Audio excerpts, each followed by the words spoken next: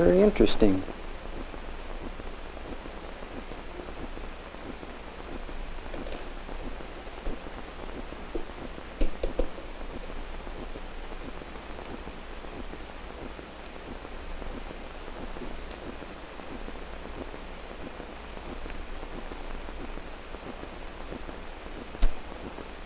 Very interesting.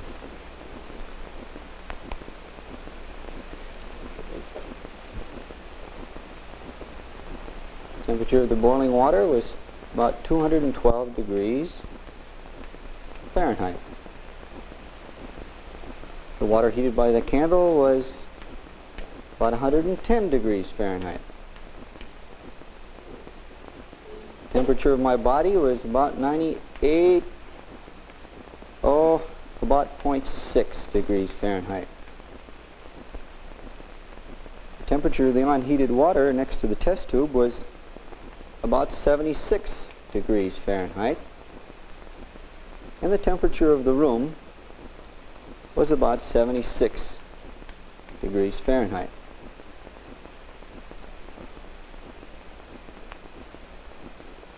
Now I've got a question.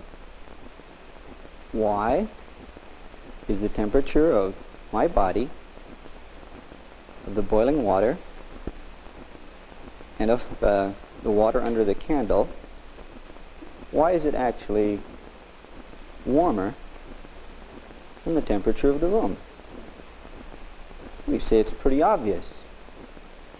The temperature of the boiling water and uh, the boiling water rather and even uh, the water with the candle under it have fire underneath them. In other words, you think it's possible that maybe you have a fire within you?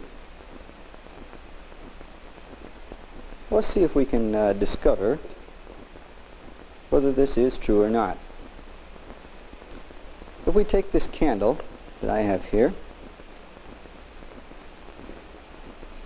if we light it,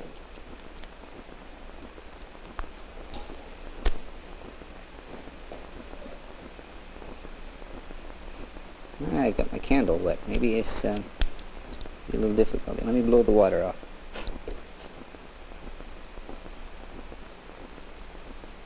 That's on.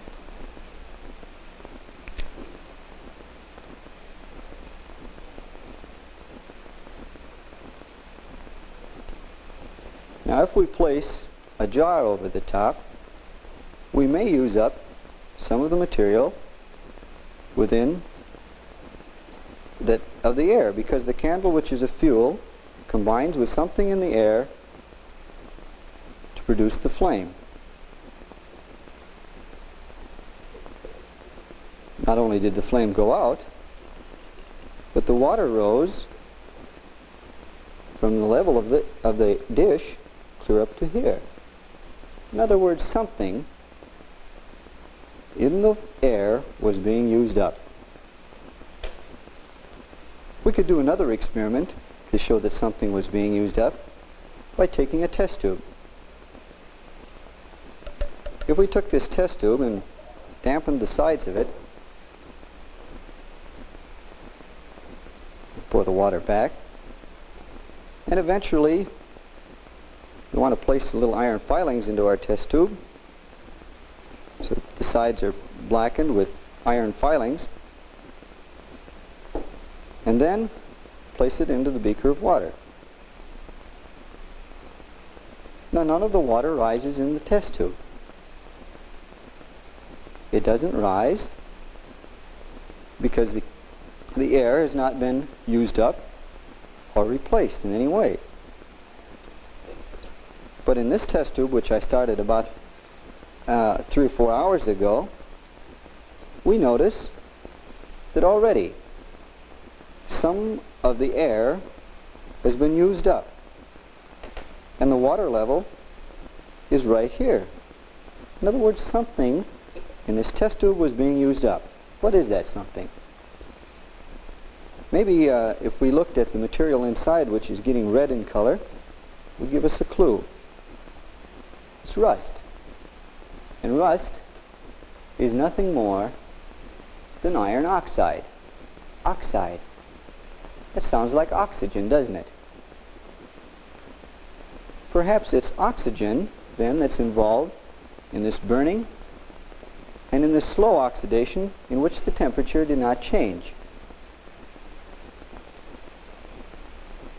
Let's see then, if we have burning going on inside us, let's see how we get our oxygen.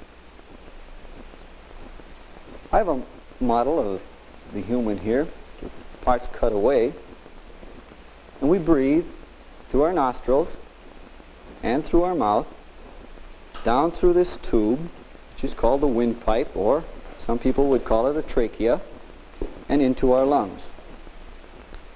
But how do we go about getting the air into our lungs? There are two ways. First of all, we have a muscle at the base of our lungs. This muscle is called a diaphragm. Now this diaphragm aids us in breathing.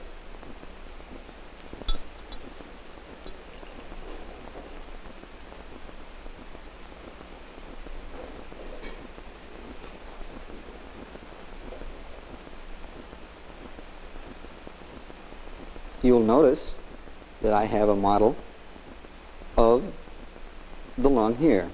And at the base, we have a substance which we could call the diaphragm. It's actually made of rubber.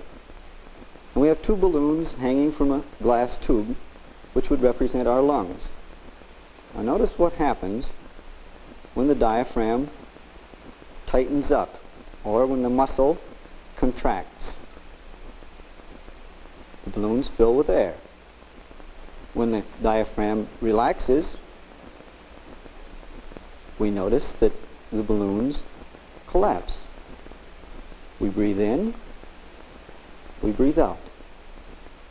In, out. Contract, relax.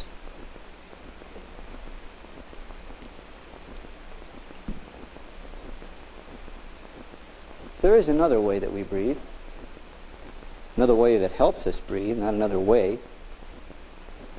And this is by lifting our ribs with our muscles. In other words, I have, we actually lift the rib cage, which makes more space inside of our ribs. Perhaps if we took the tissue away from the ribs, let you see what the ribs look like when we have no air or very little air in our lungs, and when we, our lungs are full of air, you perhaps understand. This is the way they look when they do not have air in them. Now let's inhale. Can you see them expand? Exhale. And inhale again. Did you see them expand? Well, perhaps you can feel it right on your own body. If you place your hands right at the base of your rib cage, you can feel them right in here.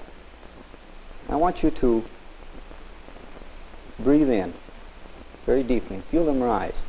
Okay? Breathe in. Breathe out. Breathe in. Breathe out.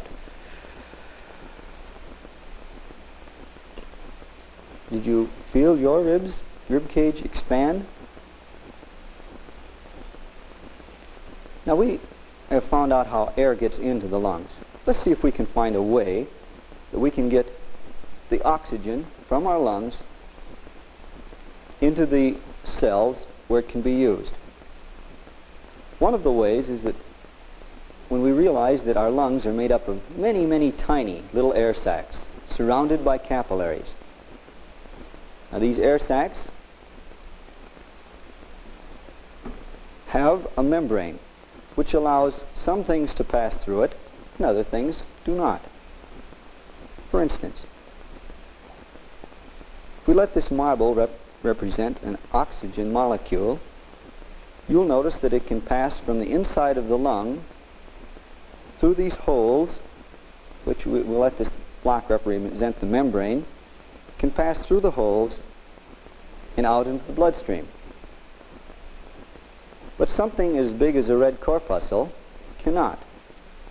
If we let this object here, which resembles a red corpuscle, you'll notice that it cannot pass through the membrane because it is really too large.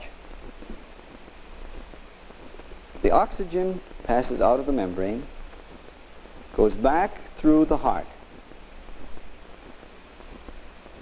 And from the heart, it's pumped out to all of the cells of the body. And eventually, it will enter a cell.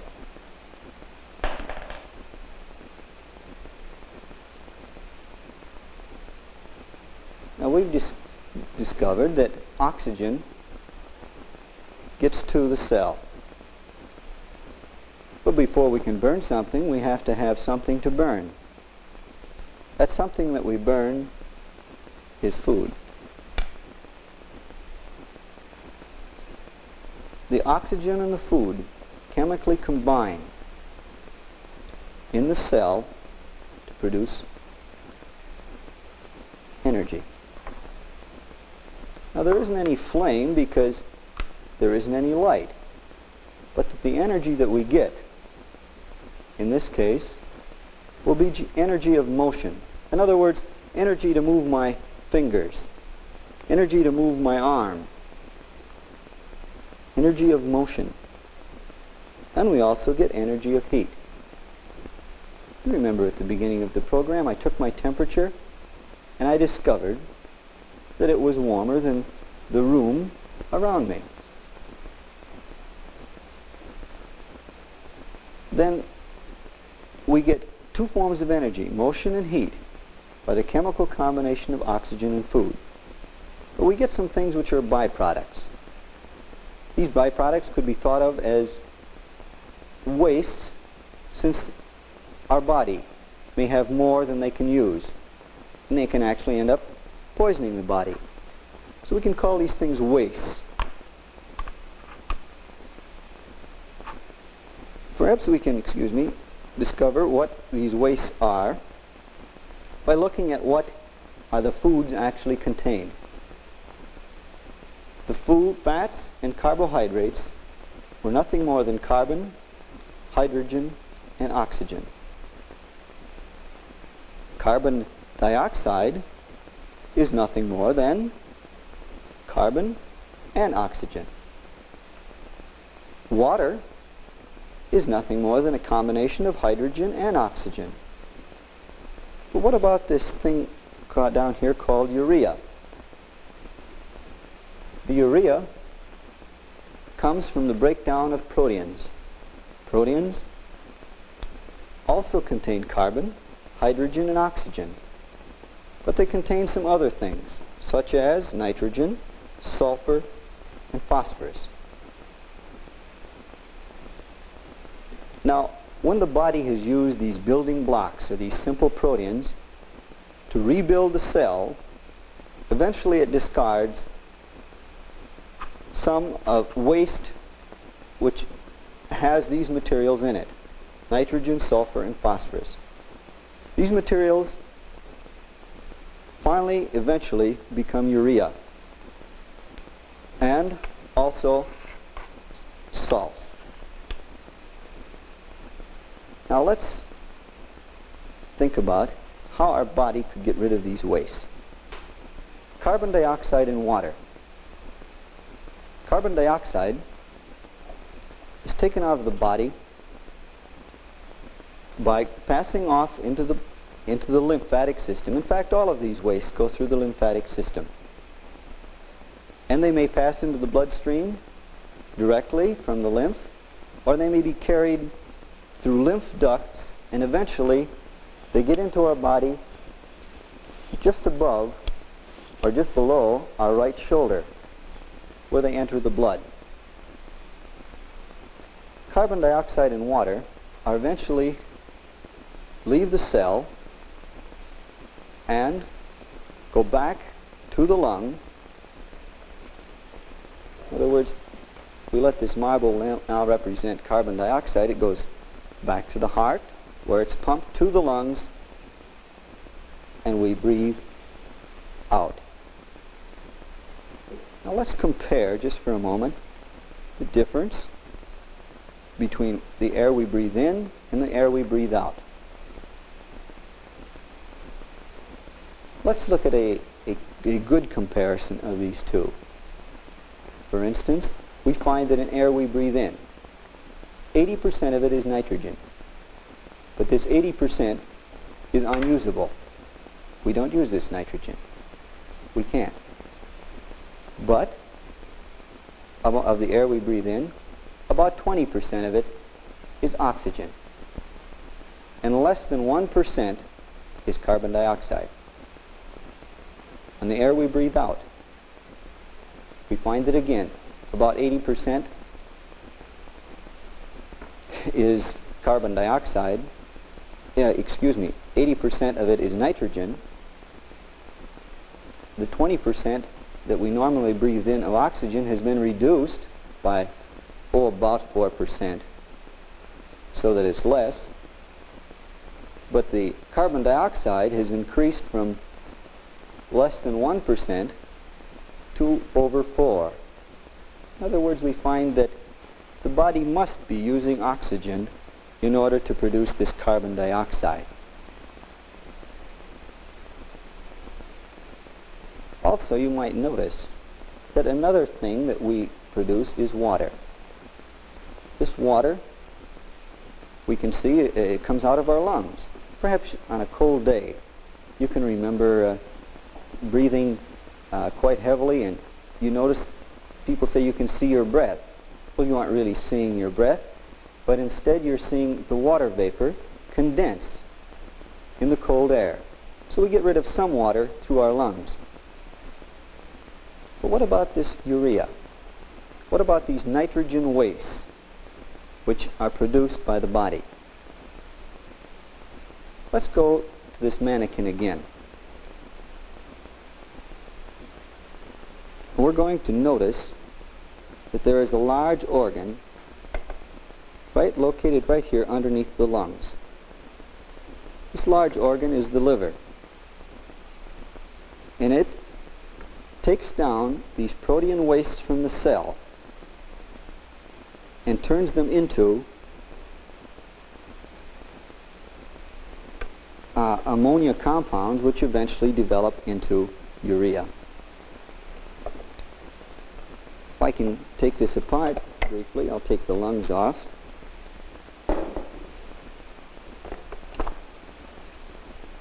I will show you what organ the blood containing these compounds produced by the liver go to.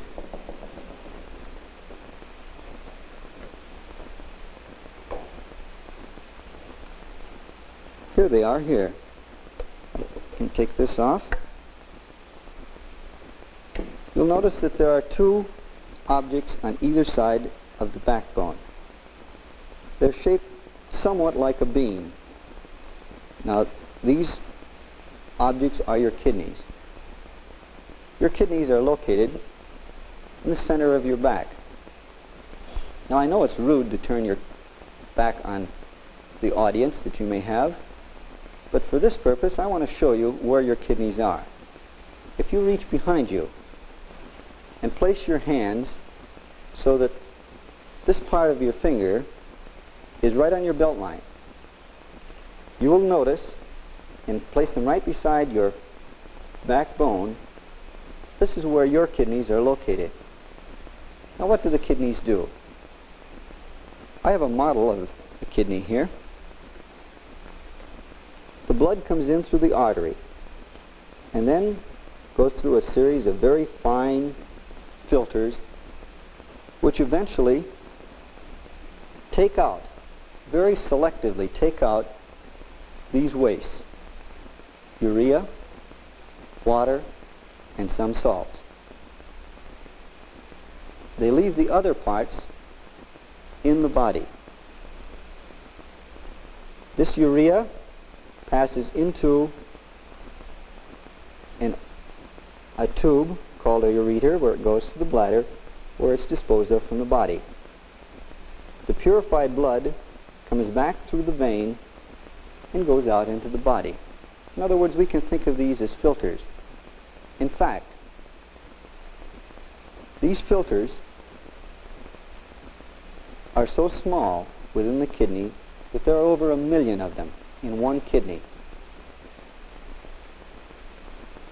The last method of excretion that we have, which is actually the process of getting rid of waste, is through the skin.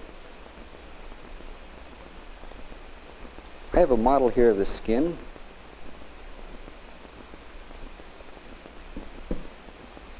And the body gets rid of these wastes through the skin by surrounding this little white object here, which is a sweat gland, with capillaries. And it passes off materials into the sweat gland which rise to the surface and pour out on your body as sweat or perspiration. The human body of an adult gets rid of approximately one quart of waste in one day.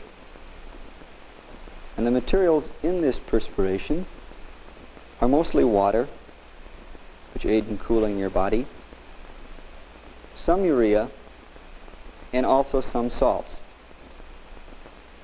As the water evaporates, the materials begin to decompose.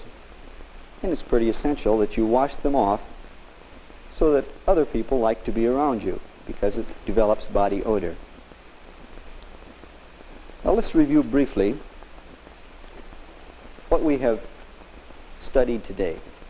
We have found out that cells take oxygen and food which is really in a liquid condition at this time, and put it together to produce energy, energy of motion,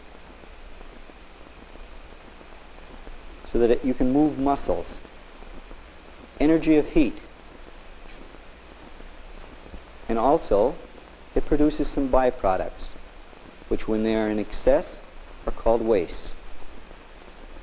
Now these wastes are carbon dioxide, water, urea, and some salts. I hope today we've answered the question for you. How does the body get its energy and how does it get rid of its waste?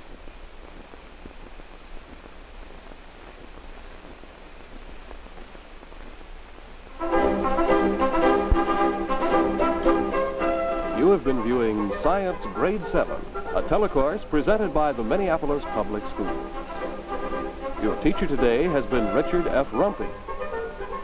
Subject area consultants supervise the planning of each series, which is authorized by the Advisory Committee on Educational Television. Teams of teachers assist in the planning and evaluating of the various lessons presented. Series are produced through the Radio Television Department of the Minneapolis Public Schools directed by Louis House.